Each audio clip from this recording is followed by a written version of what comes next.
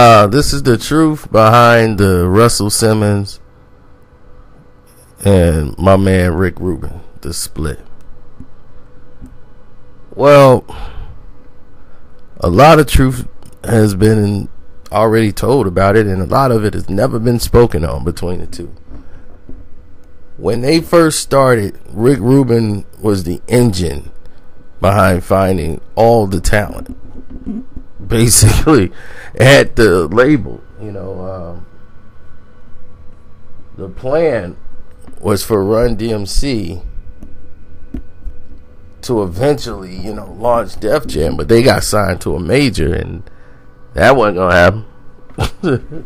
so once he got a managerial deal to manage Run DMC,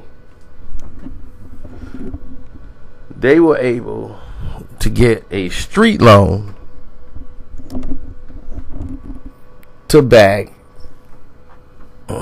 the company and keep it afloat while they try to put records out to you know re up, recoup. Now with this process going on, we've seen a lot of different things turn. We've seen a lot of different avenues uh, restructure itself, and in the midst of that, we've seen a lot of people go left. you know, um,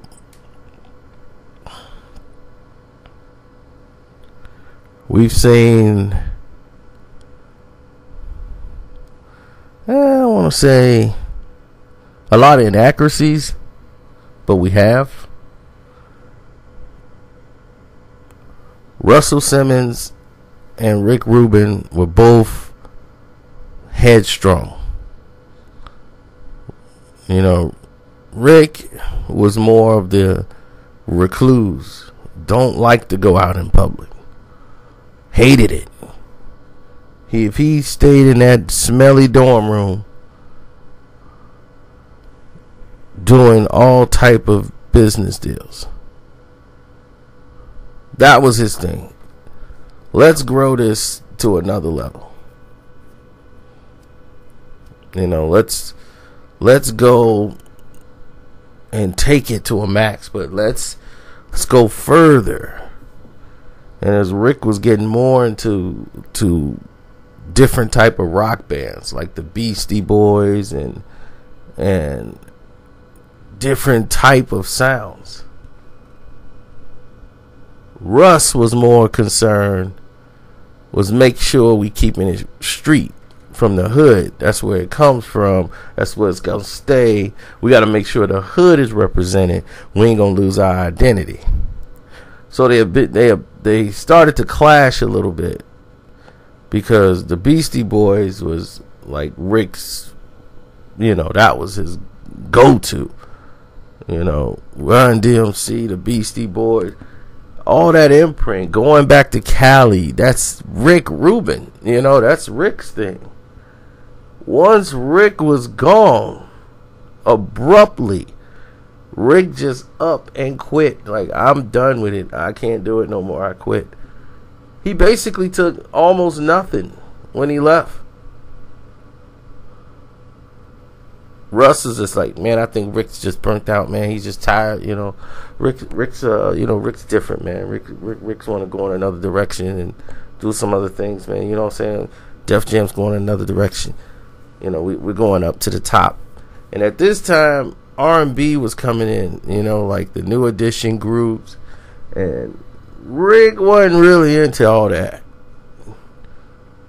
Rick like Rick liked music. He liked actual singers, not just this rhythm and blues dance and things. They saw New Edition and all these wonderful things coming up at the talent shows, but he was more into those who could actually sing.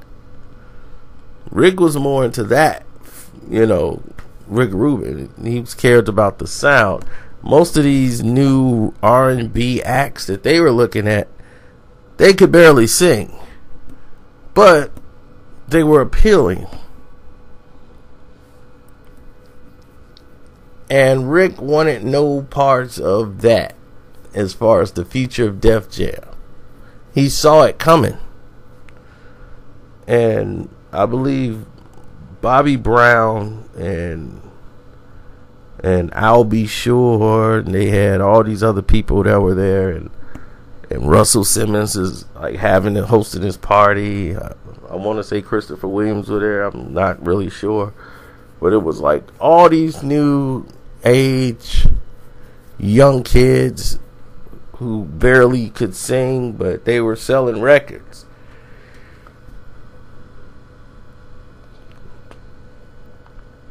And this was gonna be the face of music, like MC Hammer, all this dance, and, and he was like, "Oh, this is it." You know, Russ is the kind that wants to jump on the wagon while it's moving.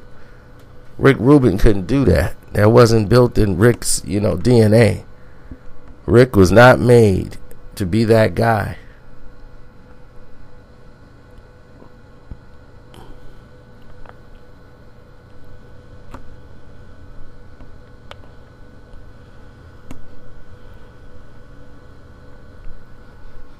So, on that note, I'm out.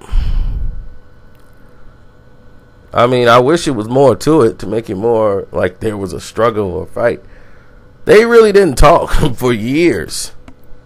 Didn't really speak. It's just that Rick went into recluse. He he started making a studio. He started doing scores for weird music, avant-garde type sounds. You know, Rick is just locked away. Then people would go way out to go see him. And you never really saw the inside of Rick Rubin's house. He's got a big house with a bison in it and everything. Jay Z went out there and, and when he did the 99 Problems with the old Run DMC beat,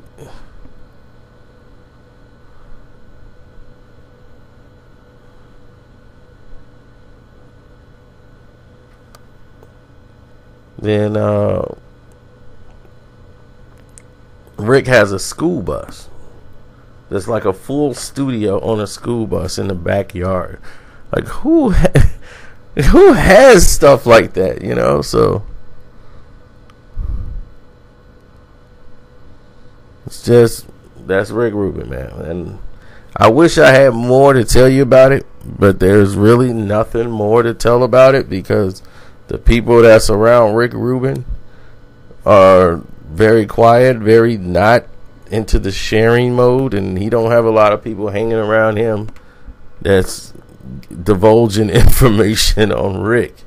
This is about as far as it goes. Um, they're very cool now. You know, Rick has made public appearances now. He comes out a lot more. Um, he goes to the porn awards. You know, I've seen him there before, and that is about it. So, other than that, I'm out. Don't forget to click the link and leave a, a donation in the description box. It's your boy Karceno. Y'all have a blessed day.